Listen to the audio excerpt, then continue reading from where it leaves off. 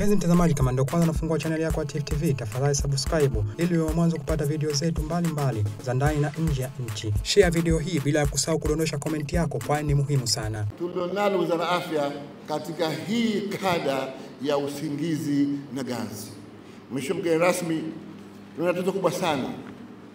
Kwanza, wafanyakazi hawa ni wachache sana, ni adimu sana, hata ukitangaza nafasi za kazi hakuna anayeomba, kwa sababu wanaosoma ni wachache sana. Kada hii imekuwa ni kada adimu sana. Vile vile vifaa vya kufanya kazi hawa waliopo hao, vifaa vya kufanya kazi ni vichache sana na duni sana, na vingi si vya kisasa. Kwa hivyo tumefanya shughuli hii kama mawili. La kwanza kuhakikisha kwamba kada ya usingizi na ganzi inapewa hadhi yake katika shughuli. Lakini la pili, kuwahamasisha wanafunzi wote na wenye vyuo, wapo hapa Kinasha, wenye vyuo waanzishe angalau kada ya diploma, stage diploma kwenye kada ya usingizi na ganzi. Ni agizi wizara yetu ya afya isimamie maandalizi yote yale ambayo umeyasema hapa juu ya hadhi na heshima ya kada hii.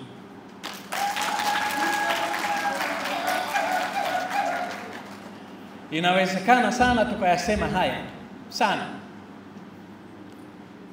kila mtu akayazungumza, lakini tusipoyasimamia hayatakamilika.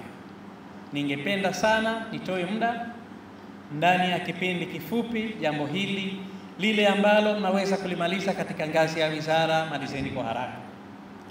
Msilolimaliza lileteni serikalini kwa hatua nyingine haraka zifuatazo.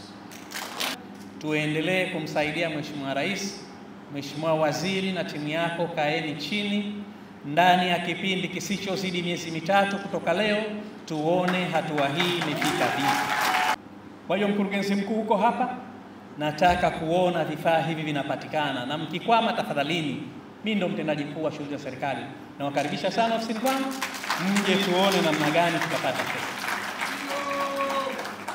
Haiwezekani tuwe tunasafiri kila siku, ukiangalia ukiita, wanaambia mkurugenzi huyu hayupo, huyu yuko wapi? Pesa za kusafiri tunazipata, lakini pesa za kununua vifaa hatupati, pesa za kuwalipa hawa hatupati. Hiyo kitu haiwezekani. Naomba twende tukasimamie jambo hili. Najua ukisema unasafiri unasema ah, donors ndo wanalipa na nyingine tunalipa si serikali, sio donors. Mimi naziona, wala huna namna ya kunidanganya kwenye hili eneo.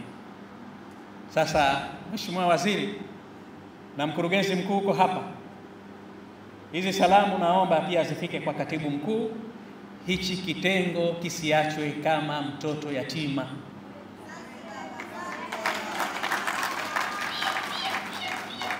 Sawa eh? Maana huyo mtoto yatima tunamshughulikia, maana unasema yule mtoto yatima alikuwa hana watu. Hakuna mtu hana watu. Lazima tuhakikishe wanafanya kazi kwenye mazingira mazuri. Haya ndio yalikuwa maelezo yangu. Baada ya hayo niwaendelee kuwashukuru tena, lakini niagize na la mwisho. Mkurugenzi Dr. Ali saidi huko hapa. Najiuliza Mheshimiwa Waziri, kwa nini SUZA chuo cha serikali mahitaji haya tunayo, kwa nini wasisomeshe hii kada? Maana kama hatuna vyuo vya binafsi ambavyo vimesomesha, lazima tupate hawa watu. Nadhani Susa muangalie hili jambo, tuanze sisi halafu wenzetu wa private sector wakishakaa vizuri, basi tutaendelea nao, wala sisi hatuna tatizo. Maana wao wangekuwa wanafanya tunawapata, wala hakuna shida, lakini leo nataka kuajiri hawa watu hawapo. Sasa nadhani hili Susa mlichukue, mwende mkaangalie. Mimi najua ile mitaala mnayo, daktari, utaalamu mnao, kila kitu mnacho cha kutosha, ili jambo liweze kukamilika kwa haraka. na nitapenda sana nipate mrejesho, maana kule nako unaweza ukapeleka wakakuletea mambo mengi sana. Mheshimiwa Waziri, naomba tulisimamie hilo, tuelewe nini kinaendelea ndani ya kipindi kifupi, tujue tunakwenda katika direction ipi. Ili kupambana na changamoto hizo, tunaomba serikali kada ya ganzi na usingizi irasimishwe, ijitegemee, isiwe kila mtu anaweza kuvutavuta na itambulike. Tunaiomba serikali iagize wizara husika kuunda bodi ya wataalamu na usingizi ambayo iwezeshe utendaji kazi. Tunaomba wataalamu wa ganzi na usingizi waingize kwenye scheme of service, kwani sasa hakuna scheme of service.